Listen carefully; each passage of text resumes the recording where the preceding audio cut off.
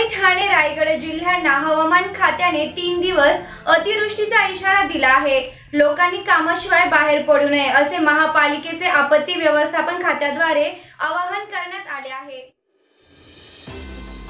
मुंबई ठाणे रायगड जिल्ह्यांना हवामान खात्याने तीन दिवस अतिवृष्टीचा इशारा दिला आहे.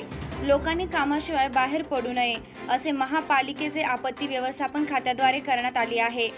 सोमवारी रात्री खूप पाऊस होऊन फार ठिकाणी पाणी साचले होते. कुर्ला स्थानकात पाणी साचल्यामुळे लोकल धीम्या गतीने धावत होती. कांदिवलीजवळ ईस्टर्न एक्सप्रेस हायवेवर दरड कोसळून रस्ता ट्रॅफिकने जाम झाला. कोणतीही जीवितहानी झाली नाही अशी माहिती सूत्रांकडून मिळाली. प्रतिनिधी जावेद शेख महाराष्ट्र न्यूज टेन ठाणे.